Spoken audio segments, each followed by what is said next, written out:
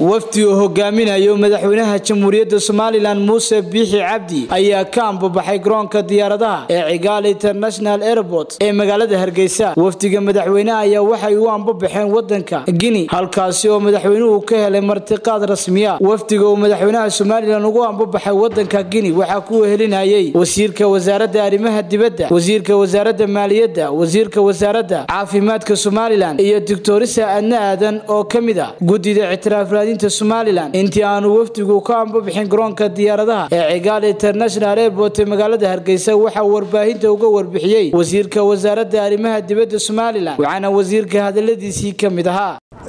Waxaan halkan maanta idinka baahinayaa oo ummadda reer somalilan aan filayaa iyo caalamkaba inaad baahisaan inuu halkan ka ambabaxayo wafdi uu hogaaminayo madaxweynaha jamhuuriyadda somalilan wafdigaas oo casuumad ama martiqaad rasmiya ka helay oo loo fidiyey madaxweynaha waddanka guinea conakry ee ku yaalla galbeedka africa wafdigaas waxaa madaxweynaha ku wehelinaya afar xubnood saddex wasiir oo aniga wasiirka arrimaha dibadda wasiirka maaliyadda iyo wasiirka caafimaadka iyo xubin ka mida xubnaha ictiraaf raadiska ama